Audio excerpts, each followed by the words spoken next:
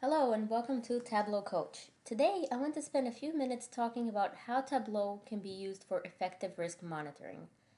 Organizations need to have processes in place to ensure that they meet compliance requirements and to mitigate risk.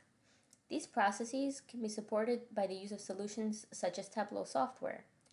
Um, it can be leveraged to design dashboards that enable executives and decision makers and others to see how the organization is performing as a whole. And additionally, you can also um, highlight key risks. So Tableau is a data visualization tool that allows you to connect to several data sources, which is helpful, and it allows for quick insights and interactivity. In addition, it you can also drill down further into the data as long as you have that level of detail in your data in your data source. So this dashboard here was built using Tableau version 9.2 and the data portrayed is fictitious.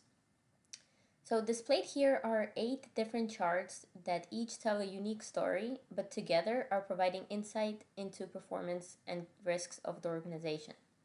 So let's review each one quickly. The exposure by rating, this is a simple bar chart that shows us the amount of money at risk within each of the credit rating buckets, such as A1, A2, AAA, and so on. we can also see the average line going vertically to see where we have exposure that is higher or lower than the average exposure.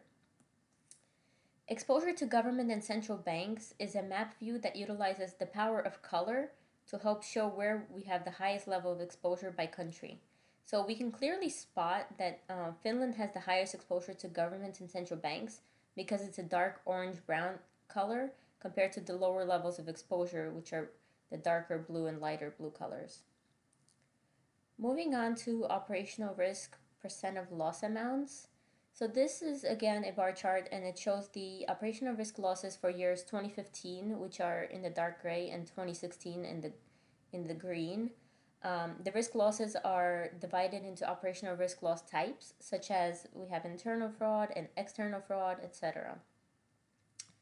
Liquidity and collateral is a dual axis chart. It shows the values for years 2010 going through 2016, and it shows collateral in blue color uh, and liquidity in the lighter blue color. Trading book exposure. Trading book exposure is a um, donut chart. So it depicts the exposure for interest rate and equity risk. You could see that we have 170 for interest rate and 1,651 for equity risk. The credit risk exposure, this is a bubble chart that highlights the types of loans that have the largest exposure by percentage of total for the portfolio. Industry analysis, again, um, this is a, well, this one is a scatter plot and it shows the profit and sales performance by industry. The colors here represent different industry types. Now, I understand I don't have a lot of the detail um, zoomed in or shown here, but this is meant to be a sample of what type of reports you can use for, um, for risk management purposes. And lastly, we have liquidity risk. So again, here we have the gray bars representing 2015 and the green 2016. And here we are showing the percentage of liquidity coverage ratio, LCR, and the net stable funding ratio over those two periods. So I hope this video helps explain how Tableau can be leveraged in designing risk dashboards. Thank you for watching.